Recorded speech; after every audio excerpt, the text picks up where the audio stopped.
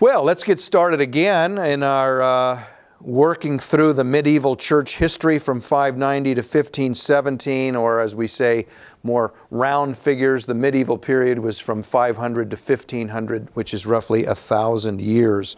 We're getting a little bit later into the, the conclusion of that era, the 13s, the 14s, and the early 1500s. Uh, the church was a mess, and guess what? A lot of people knew it. And so there were attempts at reform. Matthew chapter 16, verse 18, some of you know this verse by heart. Jesus said, I will build my church, and the gates of Hades shall not prevail against it. There's some great promises in that little phrase, that little sentence there. First of all, whose church is it? It's His. Second of all, who's responsible to build it? Him. Third of all, will it succeed? Yes. The church will triumph because Jesus says it will. Uh, as the, the, the church is sort of fading into a, such a quagmire of error in this period of time, uh, the Orthodox Church was a, a mess. The, uh, the apostasy of the Roman Catholic Church, the church was a mess. God was preparing for something. He's never in a big hurry. He was preparing for the Reformation, and he started preparing for it a couple hundred years beforehand. Uh, of course, he knew what was going to happen. One of the things that he did was that he sent some people, even a couple of hundred years before Martin Luther.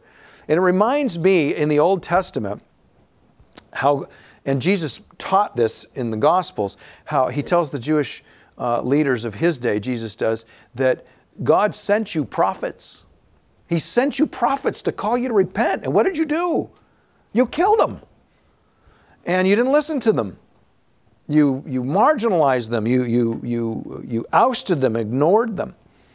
And what we're going to see here in the last couple of hundred years, 180 years or so of the medieval period, in spite of the, the downward spiral of the church in terms of being biblical, God was sending people. He sent some mystics, he sent some biblical scholars, not the scholastics per se, but biblical scholars, and he even sent uh, some people to call for councils of the church to address the mess that everything was in.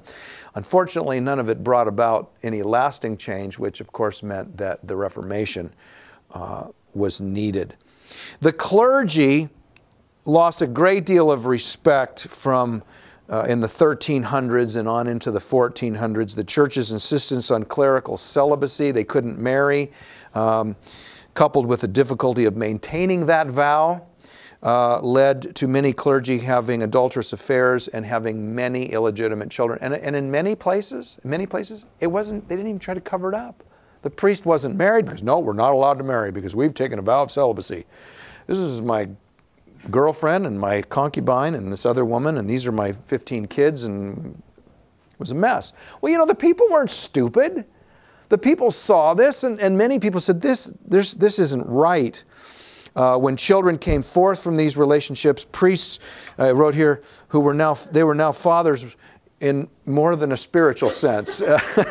Not a good thing. It distracted them even farther from their responsibilities. Others in the clergy, on the other end of the spectrum, especially in Rome, and if you were a bishop uh, of a wealthy area, they lived in luxury and they had opulent lifestyles, and not only the women and the children, but they had all the money, and it was uh, very terrible, especially while the people lived in poverty. And this doesn't seem right. Aren't they supposed to be our spiritual leaders and not our, our sort of oppressors? And then to top it off, as we've learned before, what did the church own by this time? A lot of the land in Europe was owned by the church, and so the people were serfs and the church were the landlords. And so it, it all caused the people to be saying, I don't know, man, something about this doesn't seem right. And they were correct. The rank and file clergy were not the only ones to, uh, to lose the people's respect. The papacy, clear at the top, was uh, suffering an image crisis of its own. Uh, the papacy experienced uh, uh, its greatest days, as we've seen in a few lessons past, when Innocent III was on the throne. Um, from Innocent III to Boniface VII, the average pope lasted less than five years. They were changing them very quickly over a period of 78 years, almost 40 years. uh, 16 different popes. It was just a mess. Uh, by the time Boniface was the pope, the papacy was considered weaker than in Innocent's day. No kidding. Uh, if you remember, that's why he came out with a bunch of edicts about more power for himself. But you know what? If you're not a great man, you can pass all the laws in the world saying, I'm great, and it's not going to make you great. And that's what Boniface tried to do, but it, but it didn't really work. Um, this was in part uh, due to the fact that Innocent had alienated both the French and the English by oppressively dealing with them, in, including taxation. More on that later. Uh, Boniface's French successor, Clement, was even weaker than Boniface. So when he was selected in 1305 under pressure from a French king, again, the, remember we talked, for a long time, Europe was just kind of Europe with little tribes, but then these tribes began emerging. There's the Germans in the north, there's the French, there's the English out there on the island, there's the Italians, and they all began to have their own national identities, and they all began to say, what are we listening to the Pope for? We're kings. We don't have to do this. So, so when the Pope would pick someone to be, uh, when, when someone would be chosen to be Pope, people in the other areas would say, we, we don't like him. He's not one of us. He's not uh, kind to, to our sort. Um, so this, this guy was made uh, Pope um, under pressure from a French king. And so what did he do? He moved the seat of the church from Rome to France. That didn't make the Italians happy. It didn't make a lot of the people in the church happy. Uh, he moved eventually, once he got to France, he eventually settled it in a place called Avignon, which interestingly enough was not even technically in France, even though it was a French place. And they, the people, gee, they said, hey, it kind of looks like the papacy's under control of the French. Do you suppose it was true? Yes. It was. The, the Pope became sort of a vassal to the French king um, or kings.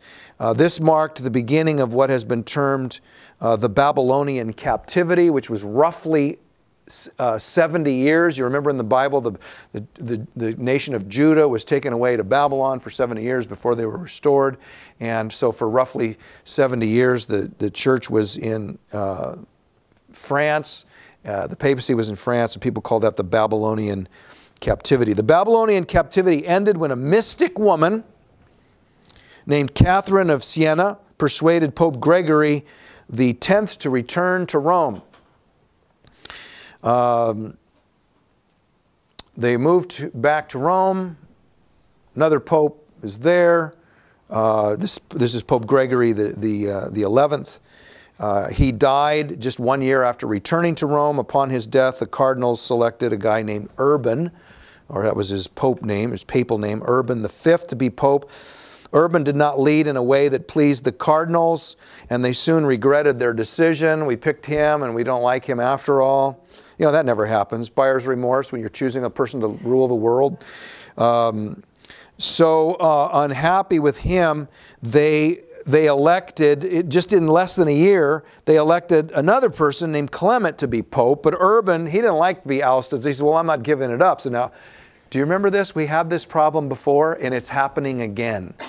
It happened in the in the uh, the 1000s, the thousand years, and it also is now happening in the 13 and 1400s as we're having more than one pope at one time. So. Um, Urban didn't want to be ousted. He didn't want to give up his throne. So there's two popes again. Clement moved the capital back to Avignon because he still had some dealings with the French. Not too surprisingly, the church was divided over, well, which pope do we recognize? If the pope's supposed to be the leader of the church and indeed the whole world, and we got two of them, and they don't get along, uh, who are we supposed to follow? This division is known in the church as the Great Schism, not to be confused with the true Great Schism, which was when the East and West split in 1045. This is another schism within the Roman Catholic Church. Uh, begun in 1378, uh, was not resolved until 1470, so 39 years later, we have more than one pope. Uh, these developments caused a growing distrust for the papacy among the people. The people weren't stupid. They may not have been educated, but they weren't stupid. They said, what is going on here? And they realized this was not good. So the people were further disenchanted with Roman church due to the oppressive taxation. You know, the Bible talks about giving our tithes and our offerings. Well, there wasn't enough coming in. So we're going to levy a tax on the people. That's what the church did.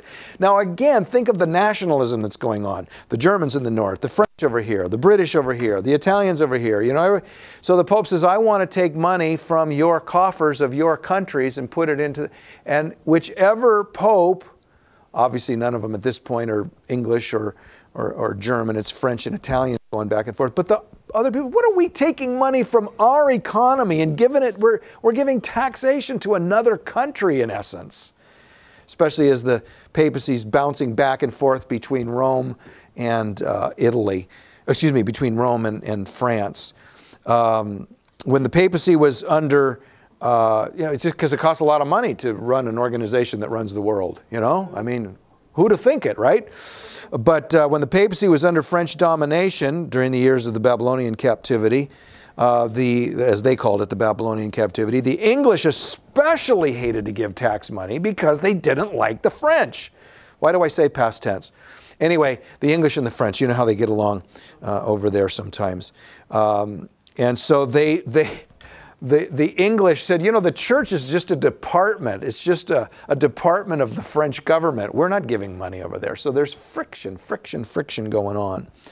Um, the European states were emerging as independent nations. They no, no longer wanted to be uh, looking to the papacy for stability, much less to send them money, since these newly emerging nations no longer felt the need for the umbrella of leadership provided by the Pope. They go, get out of here, leave us alone. Hmm. Well, in the midst of all this, all these problems are happening. This is all just prelude to the problems that are happening. What needs to be done?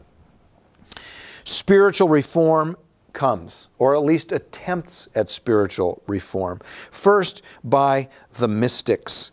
Mysticism was a reaction to rationalism. Rationalism says it's all in the mind. Mysticism says no, it's all in the emotions. Neither one of those are 100% correct. The mind is important, so are the emotions. Why do we have to choose one or the other? Uh, so uh, mysticism is far more emotive. The mystic movement, like the monastic movement, seems to have been one of God's ways of trying to breathe life back into a cold, dead church. Now, when we look at the, the difference, uh, the mystics tended to be from one of two camps. They were either philosophical or they were emotional. The Latin mystics were more emotive. The Teutonic, which is German, tended to be more philosophical in their outlook. There's a quote in your book which I think is worthy of reading. The mystics, this is from uh, Dr. Earle Cairns church historian. The mystic desires to direct contact with God by immediate intuition or contemplation. In other words, God speaks directly to my heart, He speaks directly to me. If the emphasis, continues Cairns, if the emphasis is in the union of the essence of the mystic with the essence of the deity in experience of ecstasy, which is the crown of mystical experiences, then mysticism is philosophical. So speak, is God speaking to me through my heart and my feelings, or is God speaking directly to me through my emotions. There's the two different camps within the mystic, mystical movement. If the emphasis is on an emotional union with deity by intuition, then mysticism is psychological. So we have the emotive or psychological versus the mental, philosophical. The main objective in either case is immediate, meaning no intermediary. God speaks directly to me. I don't need the Bible, I don't need a teacher. God speaks to me. Um, the main objective is either main objective in either case is immediate apprehension of God in an extra rational way as the mystic waits before him, God, in a passive, receptive mood. And here's the conclusion both types were to be found in the mysticism of the fourth century. Now, let me add to that quote. But neither is to be found exclusively in the Bible. Because what it, the mystics say, well, God speaks to me. Folks, listen there's, this stuff goes on today. Some of the best-selling books, there's a whole cottage industry of one particular author, and because this is being taped, I'm not being recorded, I'm not going to say the name, but um, I, I, want more than what God gives me in the Bible, so I'm just going to sit here and ask God to speak to me, and then I'm going to write down what God says to me, and then I'm going to write all these books in the first person as though I'm Jesus writing to people. This is dangerous. This is cutting the Bible out of it. God, told, God spoke to my heart. How do you know that wasn't a bad can of chili? You know, that might not have been your heart. That may have been something else. It may not have been God speaking.